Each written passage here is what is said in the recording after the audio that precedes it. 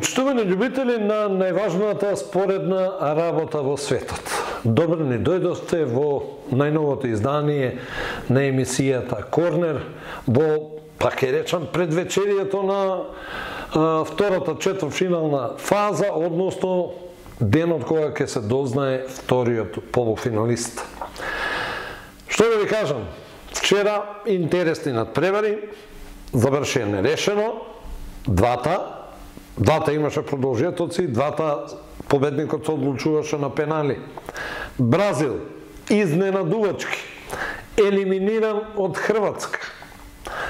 Аргентина, пак ќе речам, нека ми се налути кој што сака, незаслужено ја совлада Холандија на пенали. Ке објасниме зошто незаслужено и така натаму.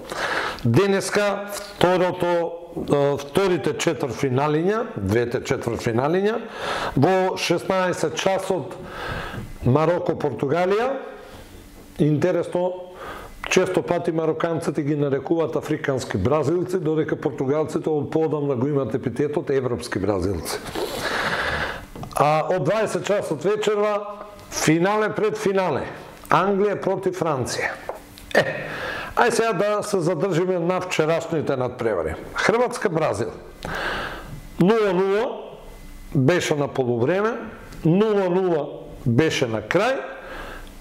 Продолжетоци на крајот на првото продолжение или 105-та плюс 1, значи 106-та минута, Неймар носи водство за Бразил извонредна акција буквално онаа тики така додавање, дупли додавање и така натаму и така натаму извонредно изреагира а, Неймар.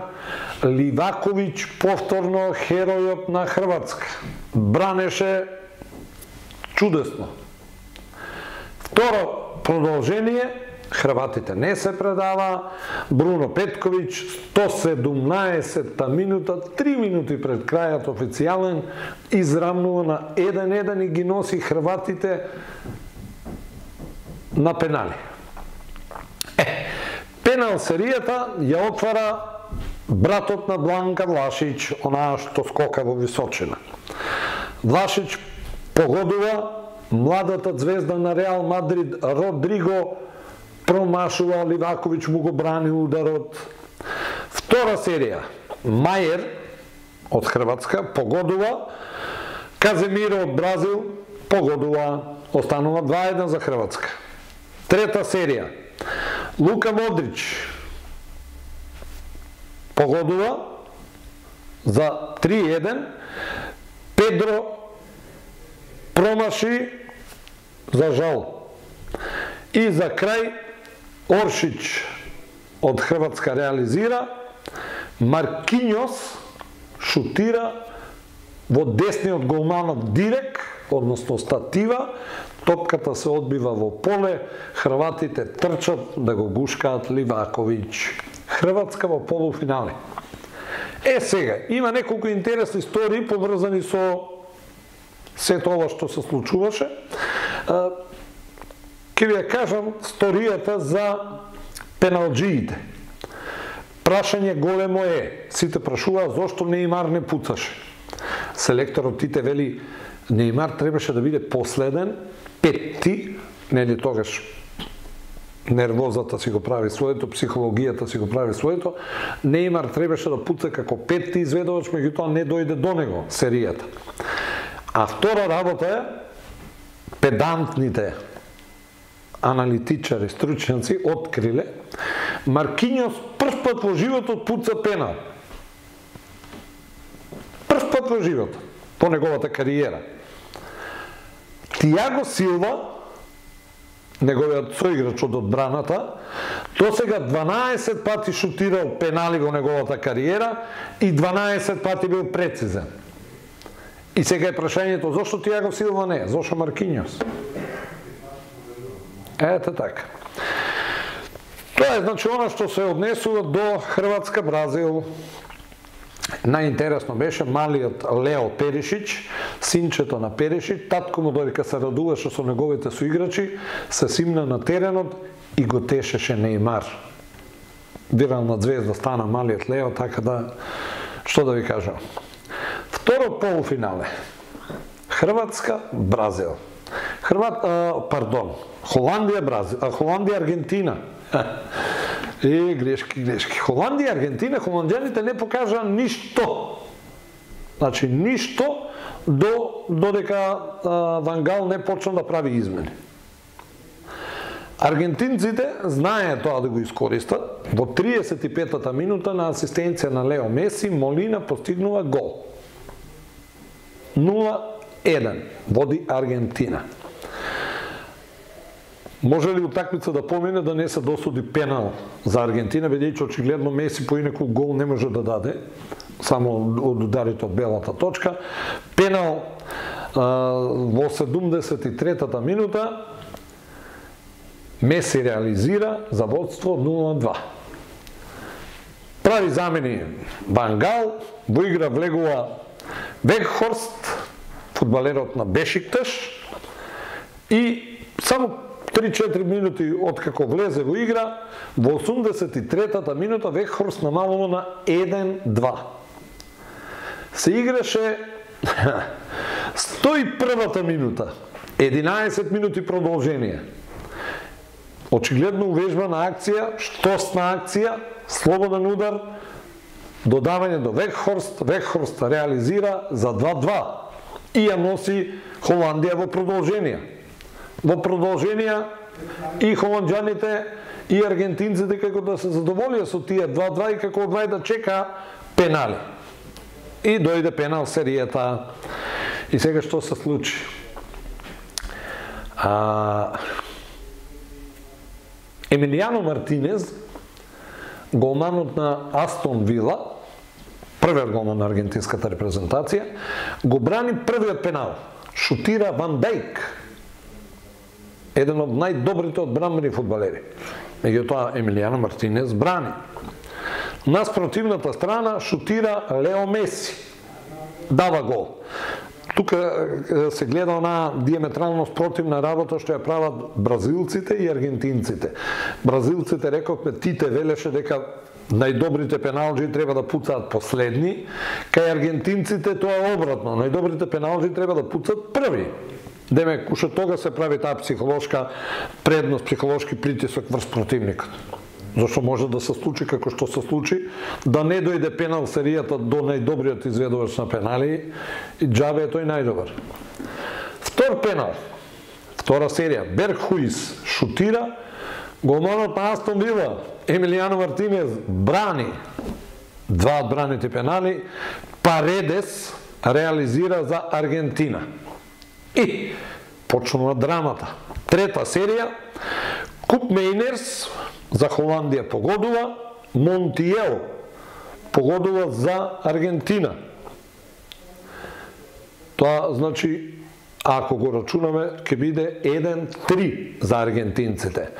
Вейхорст го постигнува третиот гол, свој, за намалување на 2 спрема 3, а Фернандез од Аргентина промашува. И сега што правиме? Сега што правиме? Правиме да Френки де Јонг шутира и израмнува. Одлучувачкиот пенал за Мартинез кој реализира и ги носи аргентинците во полуфинале на Мегдан со хрватите. Капитенот на аргентинската репрезентација, Лео Меси, се наоѓа на два чекора, значи полуфинали и финале, до историската светска титула со својата репрезентација. По победата по изведувањето на пенали против Холандија во Доха, Меси го критикуваше шпанскиот судија Антонио Матеу Лахоз за критериумот на делење на правдата за својата изјава Меси ризикува дополнителна казна од Светската фудбалска федерација ФИФА. Тешко дека Меси ќе ја добија затоа што да беше некој друг, да беше Пандев од Македонија, одма после два часа казната ќе беше изречена. Ама Меси е галениче на ФИФА и на останатите таму, така да тешко дека Меси ќе добие казна. А заслужува казна. Пред заради Нели, правило е, ако коментирате судиски одлуки, се добивате казна. Ке го казнат сега со 5-6 евра и ајде, колку да мине тоа. Меѓутоа, капитенот на аргентинската репрезентација кратко се осврна и на тактиката на холанджаните. Вели, нивниот селектор вели дека играат фудбал, но при, но при 2-0 тој внесе високи напаѓачи и играше само на долги топки нека ми простат навивачите, милен, оние што го обожаваат Меси. Со самото ова, значи Меси покажа апсолутно фудбалско незнаење. Тоа е оно што го говориме ние цело време, дека шанса на другите репрезентации против Аргентина се токму високите играчи. Бидејќи аргентинците во просек се високи, метро, жилет и желба за растење. Така да Зошто Ван Гал внесил високи фудбалери? Па најнормално за да победи Аргентина.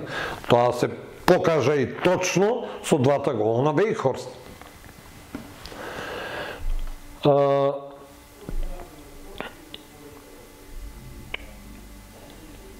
само да кажам, Меси на оваа средба доби жолт картон заради приговор.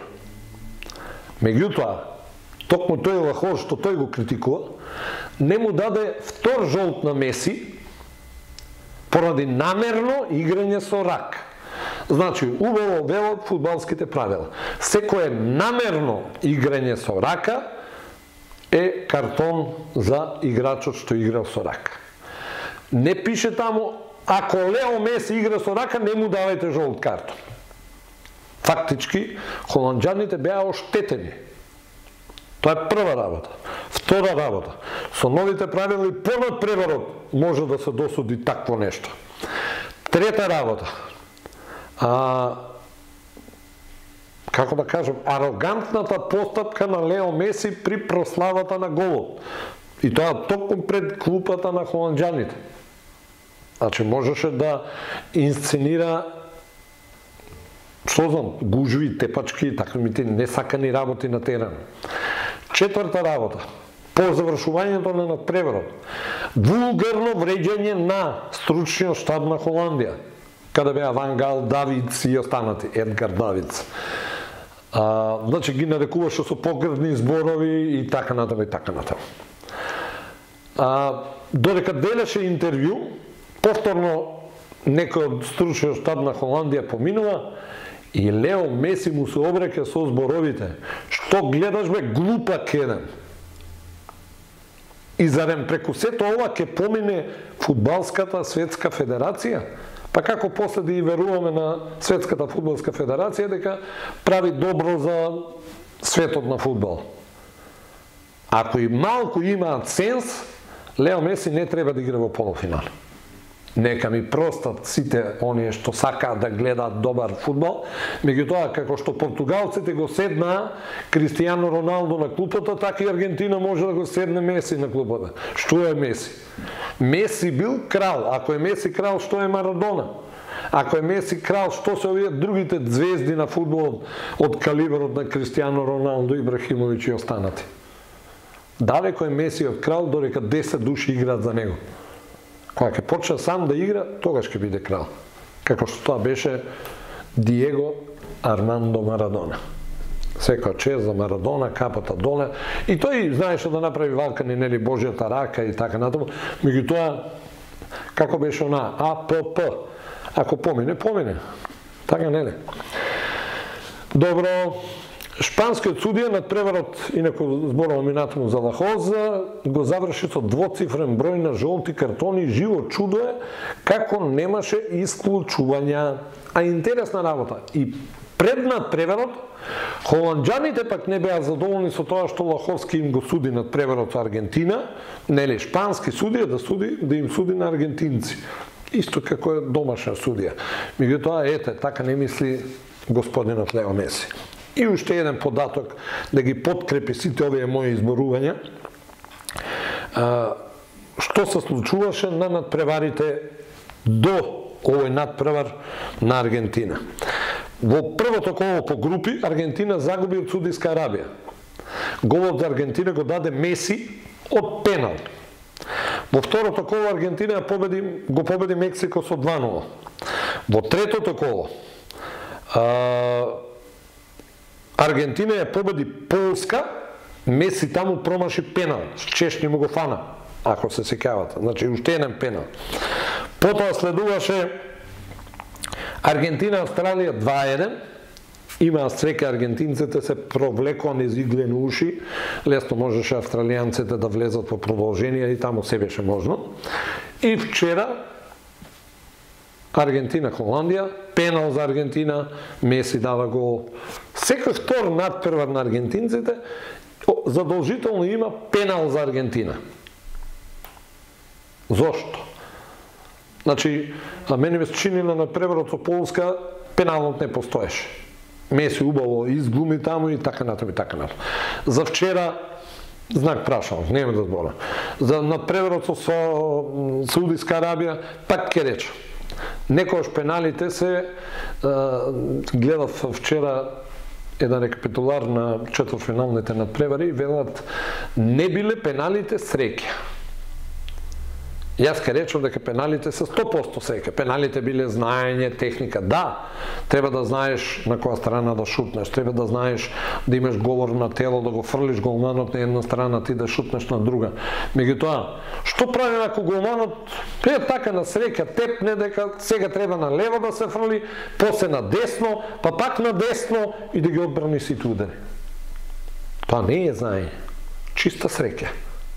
Што правиме, еве, чиста среќа е што Маркињо се погоди стативата. Лесно можеше топката од стативата во гол да влезе, тоа таа во статива и се врати назад во поле. Тука нема никакво знаење. Ова господата од Србија, коментаторите нивни и стручните лица, нешто така, малце се занесуваа како да беа на терен и ја тоа нивно занесување, девек ние се знаеме и разбираме, ета докај дојда на светското првенство. А, Мароко, Португалија. Тоа е првиот четвртфинален надпревар за денес. А, што да ви кажам? Мощни интересен надпревар. Мароканците покажаа дека никој не треба да ги подцени. Меѓутоа, и португалците знаат што прават и како прават. Мароко одигра 0-0 со Хрватска. Мароко ја совлада Белгија со 2-0 и ја победи Канада со 2 спрема 1. Секоја чест, нели? Португалците пак во првото коло со 3-2 ја совладаа Гана, во второто со 2-0 го, го добија Уругвај и во третото загубија од Кореја со 2 спрема 1. Е сега, португалците во осми на финалето со 6-1 го ја декласира Швајцарија, додека Мароко, Шпанија, знаете како помина, кој како помина, мароканците во четвртфинале. А, Кристијано Роналдо, барем според најавите, се очекува и денеска над преварот четвртфинален против Мароко да го почне од клупата. Според вестникот Абола, напаѓачот Гонзало Рамос, кој постигна хет-трик во осми на финалето против Швајцарија, повторно се очекува да биде стартер на надпреварот со Мароко. Мароко направи голем подвиг на Мундијалот, бидејќи во, во осми на финалето ја елиминираше фаворизираната Шпанија. Многумина беа убедени дека Мароко ќе биде лесен залог за моќната Шпанија, но сериозно сгрешија. Сепак, имаше и такви кои веруваат дека храбрите мароканци можат да направат чудо, па на еден млад наставник од Њујорк, тоа одлично му се исплатеше. Млад наставник, тичер. Американецот уплатил дури 90.818 долари. 90.818 долари дека Мароко ќе се пласира во четвртфиналето. И заработи над 1 милион долари секоја чест. Тоа беше најголемиот облог во неговиот живот, а тој Внимавајте добро. Не знае да изговори ниту еден фудбалер од Мароко. Да го да го каже. А, тоа едноставно имаше чувство дека Мароко може да ја помине Шпанија, мислеше дека се пред подценети, преценети и така натаму. А, интересно, иако вложил цело богатство на оваа средба, младиот учител не го гледал над преварот. Тој откри дека за време на надпреверот имал час и ги учел учениците од основното школо да играат одбојка. Меѓутоа, вели, од време на време го проверував телефонот, но не го гледав надпреверот. Да подсетиме, Мароко денеска од 16 часот против Португалија. Вториот надпревар денеска, Англија против Франција пак ќе повторам милион пати реков, не знам за кој навивам нова светско, но знам за кој не навивам. Упорно аргентинци, аргентинци, месита, меси, месита, меси. Е, не навивам за Аргентина. Значи, за Аргентина дефинитивно не навивам. Меѓутоа, имам некој чувство дека оно што ќе победи вечерва, Аргентина, Франција, ќе биде светски првак. О, пардон, Англија, Франција. Што се случува на овој надпревар? Англија во првиот надпревар го совлада Иран со 6 према 1. Во 6 према 2. Во вториот одигра Англија 0-0 со Соединените Американски држави и во третиот со 1-0 минимално го добија тимот на Иран. Франција во првиот надпревар со 4-1 ја совлада Австралија. Во вториот со 2-1 ја совлада Данска, во третиот загубија Тунис со 0 спрема 1.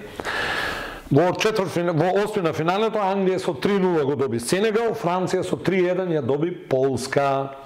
Мбапе или Рашфорд се шпекулира сега во очи новогодишните празници дека народно ПСЖ е заинтересиран да го доведе Рашфорд, меѓутоа што ќе бара Рашфорд во ПСЖ кога ПСЖ на истата позиција го има Килиан Мбапе. Е сега треба да да размисли малце младиот англичанец, или може би се најавува на тој начин некој трансфер на Мбапе некаде на страна.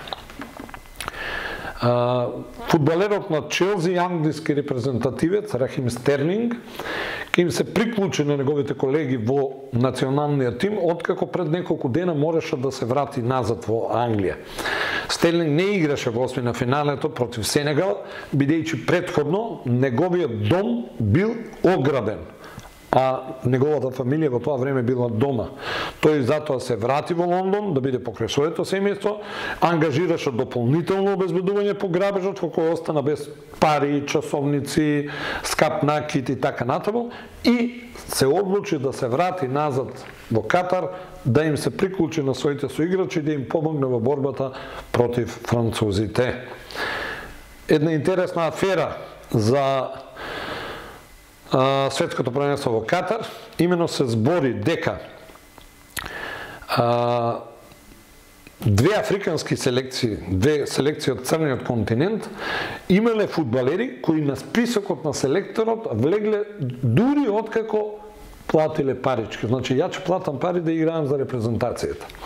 Станува збор за шпанскиот новинар Рамон Молина, кој што тврди дека неколку камерунци и најмалку еден ганец платиле за да добијат место меѓу 26 фудбалери кои ќе бидат со своите селекции на светското првенство.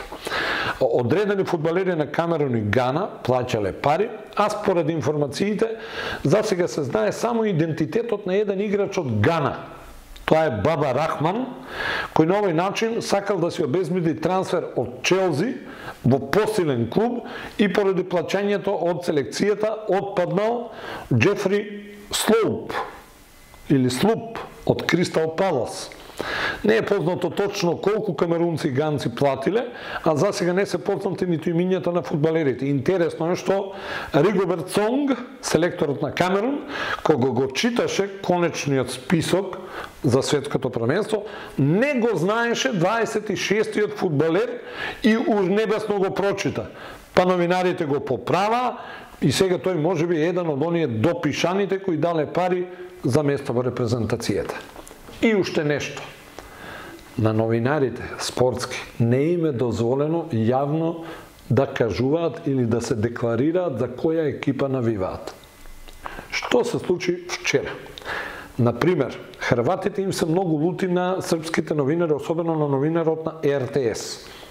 Значи, кога Бразил даде гол, се утепа од радост човекот. Меѓутоа, кога Хрватите израмнија, најавата беше гол, еден-еден. Да да. И толку. Слична ситуација беше и на арена спорт. Значи и таму коментаторот се утепуваше од радост кога бразилците поведоа со голот на Неймар, меѓутоа онака тажно рече тоа е гол. Никако. И сега добиваат таму пораки, СМС, ова, она. Им се лутат хрватските навивачи на коментаторот на РТС, апсолутно оправдано, да го сторат тоа и за арена исто, апсолутно оправдано, тука нема дилеми. Јас пак им се лутам на моите колеги ТН новинари спортски, кои што упорно пишуваат, пак ке речам, Меси ова, Меси она, Меси кра. Зошто никој не напише, зошто Лео Меси не доби втор жолт картон поради намерно играње со рака и предвреме го завршеше осми на финалето со Холандија. Ајде да го видам. Зошто никој тоа не го напише? Таква не е ситуацијата и затоа имаме толку квалитетен спорт. Буткаме просечни, сега ќе оставаме си на страна, буткаме просечни спортисти, се обидуваме од нив да направиме звезди, а всушност не сме ни свесни дека на тој начин им правиме мечки на услуга на противниците, бидејќи ние сме слаби, не се тие јаки. А, утре, утре недел, нема корнер, понеделнички, меѓутоа понеделник, нема фудбал на светското првенство, бидејќи вторник и среда се играат полуфиналињата. Во вторник од 20 часот прво полуфинале, во среда од 20 часот второ полуфинале, четврток и петок пак пауза, сабота и недела надпрвар за трето место и финале. Меѓутоа сабота и недела од 16 часот ќе се играат надпрварите. Значи, ако смеам да кажам, а, Холандија, пардон, Аргентина, Хрватска ќе се игра во вторник, а во среда ќе играат победниците од денешните надпревари. 16 часот Мароко, Португалија, 20 часот Англија, Франција. Во име на спортската редакција на КТВ телевизија ви посакувам убав спортски викенд.